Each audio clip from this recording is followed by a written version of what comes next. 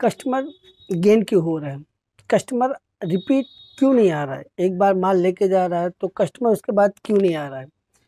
Wholesaler हैं हम, retailer हैं हम तो हमसे एक बार जो कस्टमर माल लेके जा रहा है, फिर हमारा कस्टमर दोबारा रिपीट क्यों नहीं आ रहा है? हमारे पास दोबारा क्यों नहीं आ रहा है? क्या कारण है?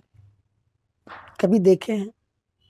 आज आठ से दस आज टिप्स बताऊँगा। वीडियो में लास्ट तक बने रहिए। पूरा टिप समझिए। कस्टमर लौट के आएगा, दोबारा आएगा, और ये सुनिश्चित हो जाएगा कि भाई यहाँ से हमको अच्छा जीन्स मिल रहा है। नहीं, कुछ नहीं, मुँह मांगी कीमत दे के जाएगा, जीन्स लेके जाएगा। ये आठ से दस टिप्स दिखिए। वीडियो में लास्ट तक बने रहिए। चैनल पे नए हैं तो दीवान गारमेंट को सब्सक्राइब कर लीजिए। लाइक कर लीजिए। और आज ये टिप्स वीडियो में लास्ट तक बने रहे। आज ये आठ से दस टिप्स बताऊँगा कि कस्टमर कभी गेन नहीं होएगा, कभी छोड़ के जाएगा नहीं। जब भी उसका मन करेगा, जब भी उसको जीन्स खरीदना होएगा, आपकी दुकान पे आएगा। तो होलसेलर भाइयों के लिए ये वीडियो ज़रूर देखनी चाहिए, क्योंकि जब वो होलसेल खरीदने आते हैं तो जीन्स में देखते क्या हम तो दोस्तों, सबसे पहले जीन्स का देखना है।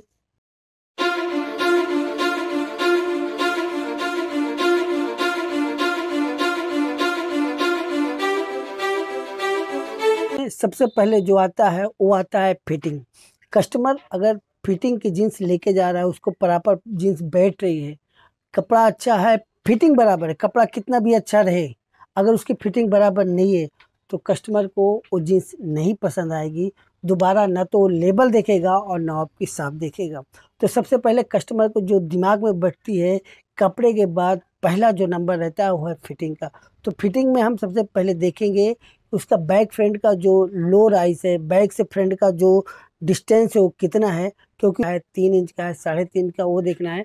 मिनिमम ढाई इंच का होना चाहिए, ढाई से तीन, साढ़े तीन इंच का होना चाहिए फ़र्स्ट नंबर सेकंड नंबर है उसका बॉटम आजकल का जो नवयुवक है, जो आज का यंग जनरेशन है, वो बॉटम जो पहनता है, वो अट्ठाईस साइज़ का है तो पौने छः से छः इंच के बीच में पहनता है, साढ़े पाँच भी कोई कोई पहनता है जो थोड़ा पतले हैं, इसलिए में वो साढ़े पाँच इंच का बैठता है तो अट्ठाईस साइज़ का बॉटम साढ़े पाँच से पौने छः छः के बाद नहीं होना चाहिए। ये सेकेंड नंबर है। तीस थर्ड नंबर है जो उसका चैन का क्रॉस साइज़ है। वो क्रॉस साइज़ कितना है? बड़ा है या छोटा है?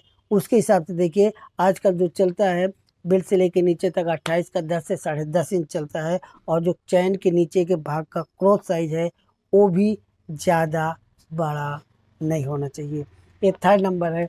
फोर्थ नंबर है जीन्स के अंदर का सिलाई। अगर वाइट डेनम ले रहे हैं तो वाइट डेनम में देखिए कि अंदर का पूरा मटेरियल जो धागे हैं स्टिचिंग है, वालाक है चैन है, वो पूरी प्रॉपर वाइट है या नहीं है?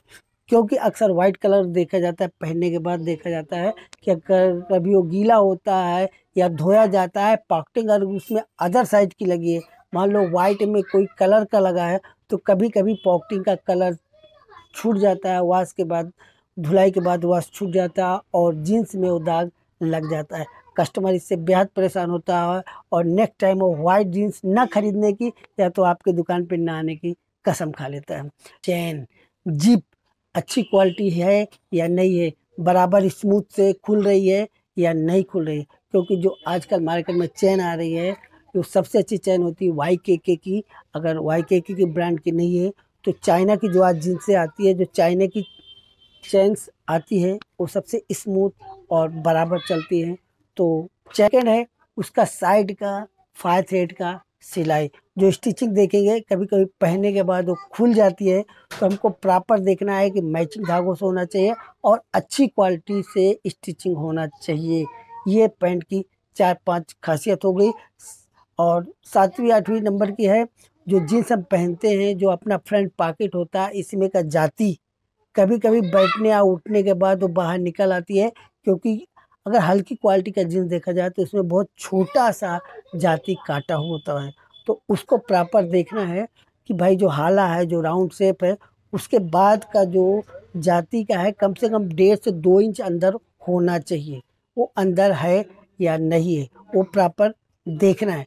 क्योंकि कस्टमर जब जीन्स पहनता है और उसका जाति बाहर आ जाता है तो उसको अच्छा नहीं लगता है कि back pocket back back pocket का देखना है कि प्रॉपर पॉकेट बराबर है या नहीं है।